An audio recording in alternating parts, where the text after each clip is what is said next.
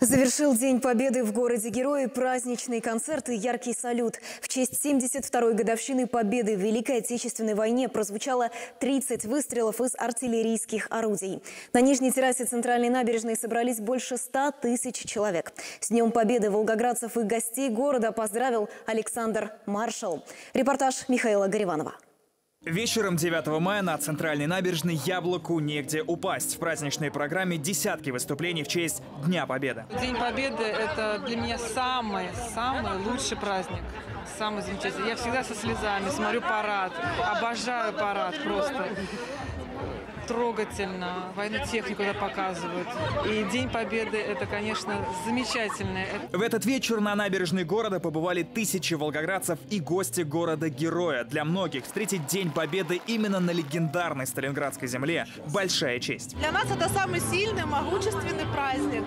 Он самый близкий к нашему сердцу. Мы, поэтому мы оставили свой город и решили приехать к вам.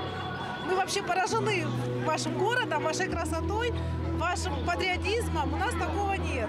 Поздравил в этот вечер всех жителей и гостей города с праздником Победы и Александр Маршал. Певец исполнил известные фронтовые песни и собственные композиции.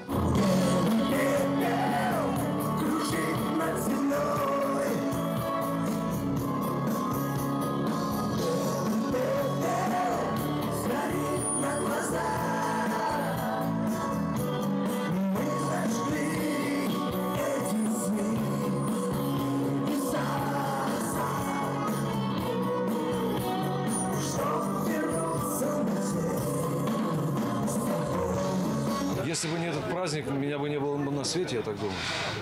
Поэтому э, тут, тут особых объяснений-то нет. Это святой праздник со слезами на глазах, политой кровью нашего солдата. И поэтому я просто считаю, что я обязан это делать. Не то, что обязан, а просто я по-другому не могу. Это мой любимый праздник с детства. Ну а кульминацией этого дня стал праздничный салют.